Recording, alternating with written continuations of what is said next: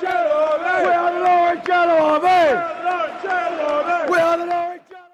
what is going now, guys? Talk Norwich City here, back for another video. I hope you guys are all doing fantastically well. The season is finished, but that doesn't mean the end of the content. Today, we are back for the best five Norwich kits ever. Now, there's been some absolute stormers in the past, so this is going to be tough to pick, and I'm to need your guys' help as well. As well as this, at the end of the video, you guys can be in with a shout of winning £100 worth of vouchers for classic football kits.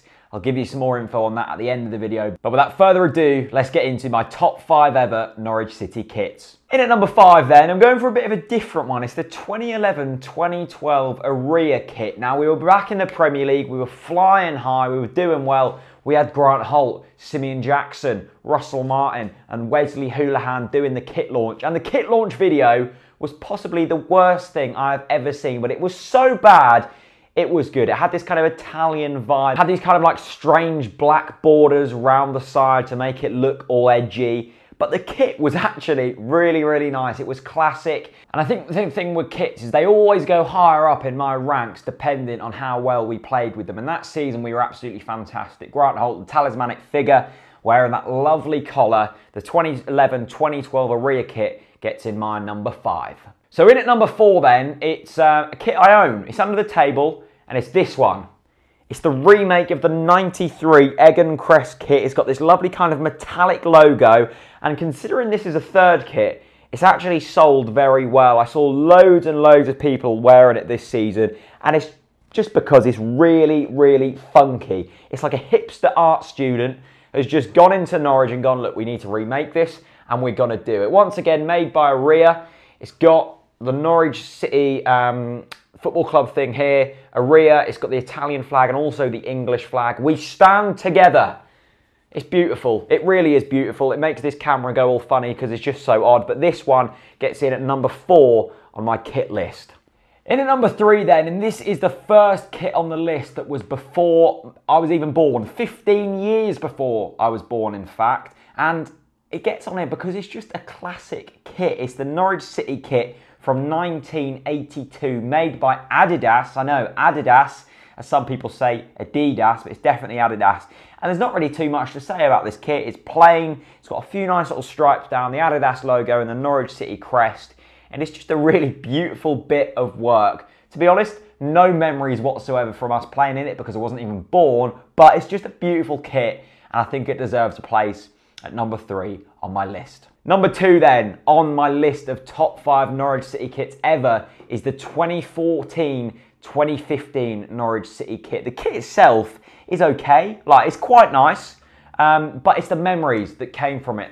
The promotion from the Championship in the most incredible circumstances, beating Ipswich in the semi finals, beating Middlesbrough easily in the final, and playing in this kit, I think has got to be the best selling kit ever in terms of Norwich City. Uh, so many people bought it the first time it came out, and then when it was kind of re-released with that Wembley kind of design, with the print on the front, the Wembley kind of things, it was a really memorable kit. And I didn't actually buy it. I don't own one of them kits. I, I don't think the YouTube money was rolling in like it is now um, back then. But look, it is a truly wonderful kit. Um, the nice kind of like green cut that goes into the yellow.